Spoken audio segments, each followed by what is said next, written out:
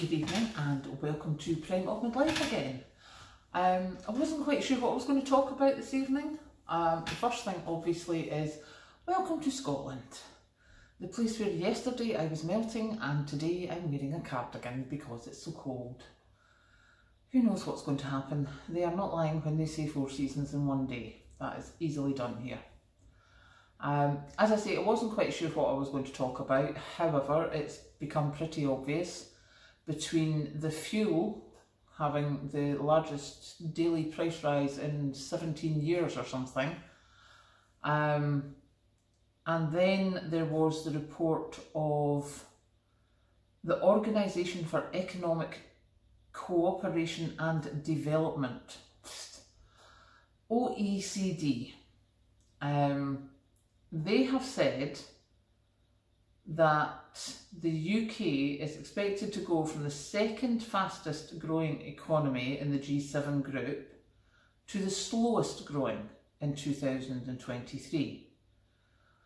Um, they are looking at growth in the UK being growing by 3.6% in 2022, which there's only half of that left anyway, before posting zero growth in 2023. So that is not looking good for our economy. And the food crisis obviously is, is still ongoing. And although there's been reports of discussions taking place between Russia, Turkey and Ukraine to get the wheat, the grains, the sunflower seeds, etc. out of Ukraine, the talks are still ongoing. The talks could be still ongoing for quite some time. Um, personally, I think that it's going to go right down to the wire until it's until the, the next harvest is just about coming in the doors of the silos before they'll let any get taken out. Um, and when I was reading that, I thought, well, what does that mean? And I think that it means that things are not going to get any better for us here in the UK anytime soon. Um, they're going to last a lot longer, I think, than any of us expect. And to be honest, I wasn't expecting it to last for that long. I think when I started doing the prepping, I'm like, oh yeah, I'll make sure I've got stuff for a couple of months. Um, as I'm sure Patrick, who's sitting over there in the corner, will state, my shelves probably have a bit more than a couple of months now um, because I just kept prepping and, and kept buying a little bit here and a little bit here if you watch Appalachia's Homestead with Patara, you'll know that she is by five cans. Yet been there, done that in spades. Um, and I was actually getting to the stage of, right, I'm going to have to tidy up my prep storage. You know, that'll do me. I'm not honestly sure if it is going to do me now. Because if this is going to last into 2023, if there's going to be no growth in the UK economy in 2023, and that means everyone's going to be fighting, well, your companies are going to be fighting against um, any wage rises, the government's going to be saying, oh, we don't have money, etc., etc., and we are still going to be struggling. Everything's going to be costing more. We're going to be getting less for whatever we pay, you know, less bang for our buck, shall we say. And that wasn't what I was expecting to be honest. I, I genuinely thought that, you know, I'd possibly need my stockpile for three, maybe four months at the most. That would do me.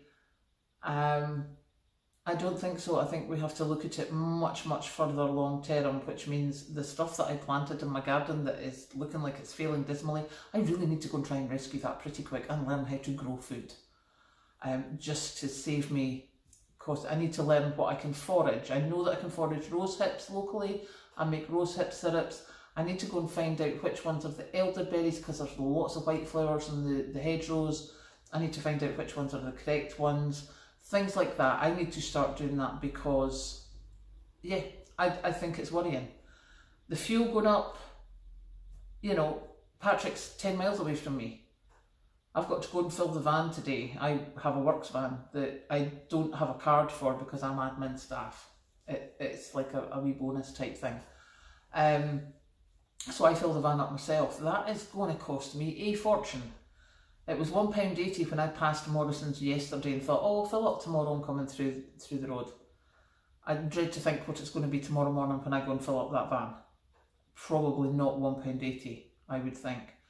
So all these little things that we're having to think of, you know, if I budgeted a hundred, well, I did. I budgeted one tank of diesel to get me in and out, um, which was about seventy odd pound, probably going up to about eighty pound recently. But that was last month. How many times is, is the price of diesel gone up in this this last month? That I'm now going to have to be paying for and filling up the tank because there's no point not filling it up because it's just going to get more expensive by this time next month. So yeah, I think we need to all look at that and just try our best and start looking for different preps. You know, we've we've all got we've all done the same basic preps. We've all got some pasta, we've got some tinned goods. Um, I'm going to have to start looking back at things like the Great Depression, like the wartime. You know, what can we do to save money? Um, someone asked me about what frugal or you know what frugal preps or how do I it. I don't particularly do anything that I consciously know of, apart from a crochet own dish, dishcloths with dishcloth yarn.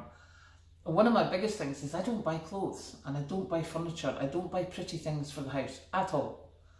Uh, most of my stuff is either from my parents' house or from friends' houses or somebody that's moving and I'm like, oh yeah, I'll have that.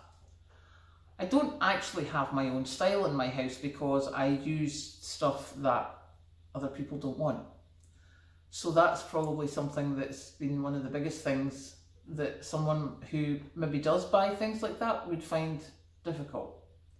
But anyway, there you go. That's my thought for today is it's definitely not getting better anytime soon and we need to start looking at a bigger picture and looking at more obscure things that are not your normal stuff.